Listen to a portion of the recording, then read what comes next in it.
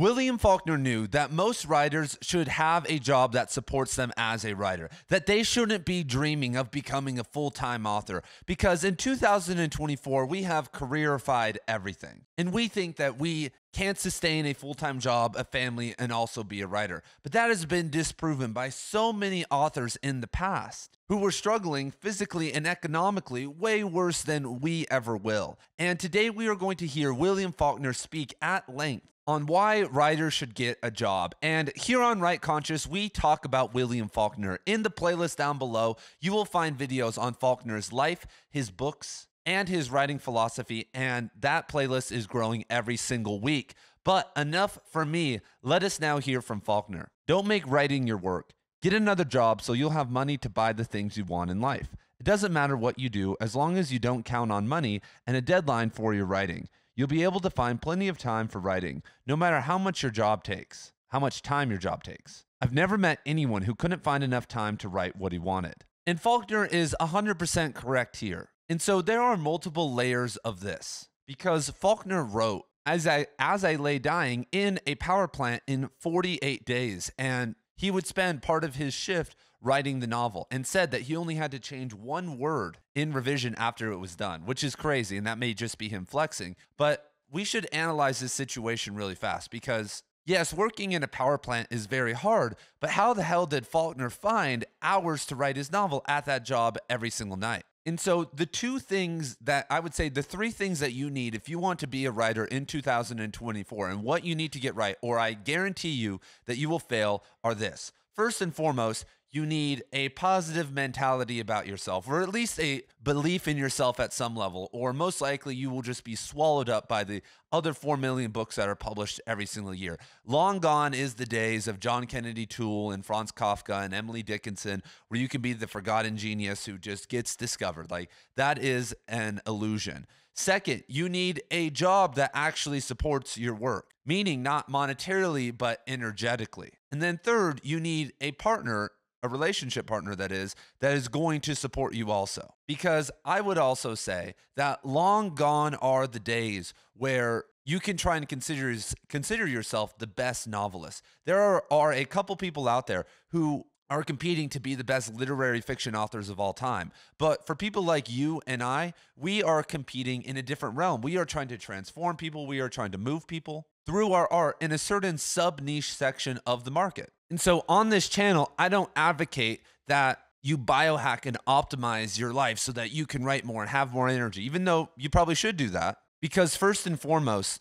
a big part of human existence is human relationships or the lack of them. Because if you want to be a hermit, I 100% understand that. But you shouldn't be watching me online right now. You should be totally divorced from technology. You should be a hermit. You shouldn't be an asshole incel and projecting all your negativity out on the world. But then we have human relationships. And the other day, I was talking to a friend of mine from my yoga days because I have been a yoga teacher for 13 years now. But at one point, it was my full time job. And so I met a bunch of really crazy and really awesome people. But one of my friends is now a part of a commune because of his sister because he was a welder in Las Vegas and his sister who was also very was very spiritual got involved with this group and they basically asked him like hey you have all these technical skills you know how to make things instead of just running in circles and living in an apartment in Las Vegas you want to come live on our farm and I understand it's pretty crazy and I want to do it but he went on he went along and did it and his sister has been a part of this community for like let's say 15 years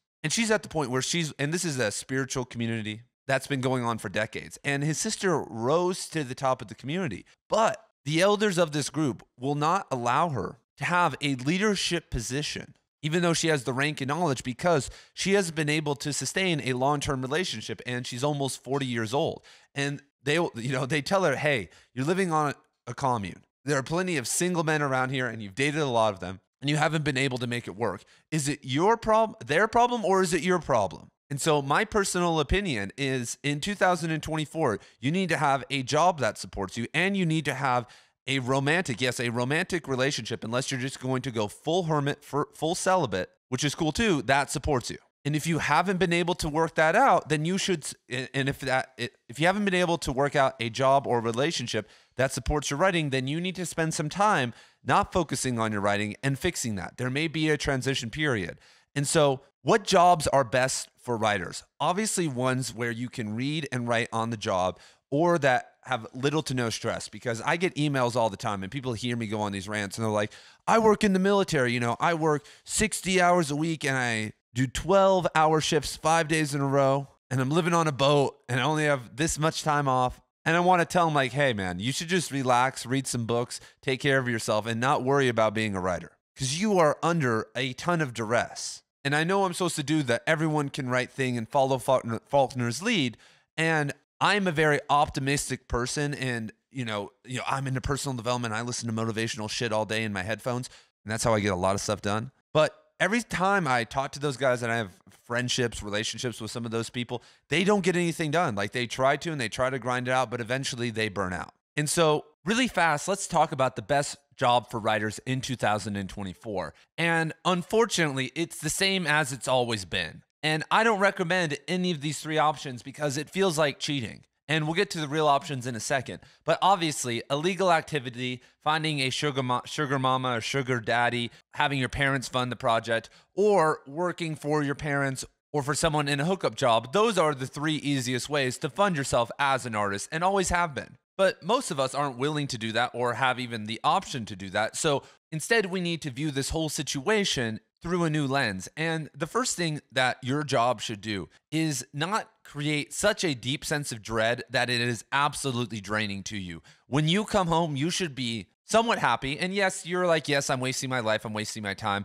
but you should feel energized. Because obviously, working as a night hotel clerk and being able to write eight hours for the entire time is optimum. But if you need to make a certain amount of money or do something, you should be working for a company and in a culture that is generally supportive, even though most of the time they are exploiting you. Because as a teacher, I never get to write on the job. I'm always dealing with some form of pandemonium or, or teaching, but I do read a lot. Like, for instance, for the past two weeks, I've had some of my classes listen to Pink Floyd's The Wall in full. And then we're comparing that to Hemingway's Nick Adams stories and showing how trauma is created in the modern world. That is very energizing to me. Like, that is what I love to do. And so when I come home, I'm ready to make more videos. I'm ready to write and do stuff like that. But I've specifically found a school, a group of kids, a place that will support that. I, back at my school, uh, one of my old schools I taught at in Las Vegas, I would come home every single day feeling like I wanted to kill myself. It was so bad. I mean, I was getting treated so poorly, not just by the kids, but by my bosses and felt like the community at large that I had to leave. But it actually took me years and of uh, and, and actually switching multiple schools to be able to find somewhere that supported me. And so when you're looking at your life, if this seems unrealistic, yes, you may have to make some sacrifices. Yes, it may be a bit crazy. Yes, you know, leaving your job and trying to find something better in a very volatile, volatile job market is an insane risk, especially if you have a, if you have family and kids. But the wealthiest place in the world, the, the place with the greatest novels ever written is the graveyard. There are so many authors, so many people who I've who I've personally known who've given up their writing dreams. I knew this girl back at college named Callie who was an amazing writer, had been doing it her entire life. But because she didn't see this kind of like economic opportunity and couldn't figure out how to get a job or do any of this, she listened to her parents and joined the military. And she's not written in word since. Like, I swear to God, this chick who was probably 20 years old at the time was writing better than our professor who had sold, you know, 75,000 books at that point. And just from university alone, I know probably 50 to 60 writers who've just given up, who were talented. But I know they haven't given up completely. I know in their head when they see me talking online or they read a book, they're like, I could do this. And that's one of my interpretations of Frankenstein that Victor has created this monster. This was this beautiful piece of him, this genius breakthrough of his artistic creation. And he rejects it. He faints. He continues to reject it. And he doesn't make a double for Frankenstein. And he runs away. And when you run away from your artistic goals and ambitions and talent, it eventually consumes you and kills you. And funny enough, that idea right there is how I met my wife. Like we already knew each other at university, but we were in a class and I got up and did this whole rant about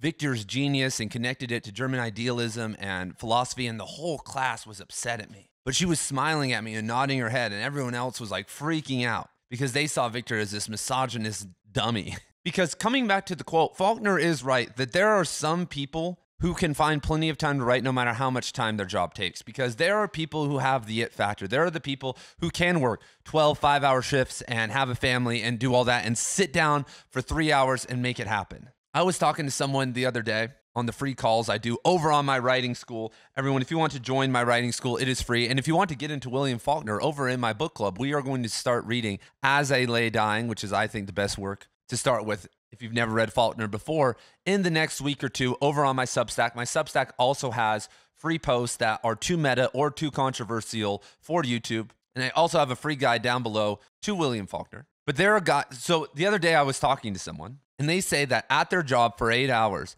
they can't work. They're basically doing like retail or something. So in their head, they craft scenes and they can memorize around 200 words. So they perfectly craft a scene at work over the course of eight hours. That's around 200 words. So when they get home, they write that down immediately, which is insane. And then they start writing. So they already have a 200 word head start when they get home from work every day. But when I was talking to that guy, he had this fire, he had this kind of it factor in his eyes. And not everyone has that. It's this weird genetic thing. But most authors actually did not have that. They had to cultivate it. And so there are the outliers who can make it happen. But in general, Faulkner is speaking from a position of immense talent. And so for you, if you're going to make this happen, you need as much energy and I would say time, you know, is less important, but you need as much energy as possible to tackle this stuff because sleepy writing most of the time honestly isn't very good. I've done it before. You guys have maybe done it before. I've known the people who have grinded and cut sleep, and it reads very flat. And so we love to idolize these individuals like Faulkner or even like a Cormac McCarthy. But Cormac McCarthy, even when he became rich, when he got his MacArthur Fellowship, which is like getting a million dollars today, he still wasn't famous yet. But he was known for having his house in El Paso. And if you came over, there would just be always an ongoing construction project. The entire front room would be taken apart, the bathroom. And basically, his house in El Paso was unfinished his entire time he was living there. He could live with a construction project going on that wasn't going to get completed for two years and multiple of them in his house. Most of us are not like that. Most of us have at least some standard for how we're trying to live, and we don't have that like aura that McCarthy had. And unfortunately, we live in a time where things are much more expensive because of inflation and many other things. And so we don't have the opportunity to travel around for cheap like McCarthy did, and especially feel safe like McCarthy and even Faulkner did all this traveling to places that would be considered dangerous today, and they were welcomed. And so I agree that you should never count on money for your stuff, especially your books. And that's why in over in my free, free writing school and the philosophy that I preach is that you need to separate your legacy novels, your your books and your online writing because online writing is meant to reach people. It has the ability to scale, to be read by tens of thousands of people, no matter what genre you're in. And it's about a hundred times easier to get a thousand people to pay you five dollars a month for some of your shorter writing than it is to get twelve thousand people to buy one of your books every single year. Especially if you're writing in the literary fiction genre. If you were writing fantasy or sci-fi, that's easy. It's easy to trick a bunch of desperate dudes living in their mom's basement. Like if you are writing stuff in a genre and you aren't successful, this is a, a side note then you are really, really doing things wrong. Like a lot of us here are doing poetry or literary fiction, and the audience is not there. But selling books in the major genres is really just like a math equation. And what's fun about writing online is that you don't have to have a deadline for your writing online or for your book. I was just thinking about this the other day because I'm building an audience online and I have direct response with readers and stuff. I was like, dude, I don't need to release my novel for years. I can just work on this and have fun with it. There's no pressure. And when I release it, it's going to be a to a huge group of people and I'm going to guarantee that it's good. I'm going to put it through the same process that all the novels behind me got because most of us actually really do need an editor. Most of us need to pay over a $1000 for a book cover and have it formatted correctly for it to be taken seriously because that's who we're competing against. And so I would say, I, I always preach patience, you guys, that somehow, for some reason, people think I'm like full time with this. And guys, I'm like nowhere close yet, like with being a full time writer and being a full time YouTuber. And I've been at this game, I've made over 600 videos now, and I've been doing this for at least five or six years. And so I would never tell you unless that you were unless you were like a hot chick who was willing to talk about Cormac McCarthy and David Foster Wallace online that you know your success is going to be really fast and you'll figure this out in a year. You aren't. It, this is a three to 10 year process, but it is something that can be enjoyable, that you can do, that it doesn't need to be stressful. And you have an opportunity that Faulkner never had to connect with audiences and do things a little bit differently. And applying Faulkner's logic, trying to look back and say, oh, I want to be like them when they didn't even have the same opportunities that we did is crazy because I think a lot of them, especially because they had that it factor, would take these opportunities that a lot of us refuse to take because we are romanticizing them. So, Thank you guys for being here. I love each and every one of you. Good luck writing today. Have fun reading. Go out and get some sunshine. Go find a wife. Go find a husband. Make it happen. And I will see you guys later.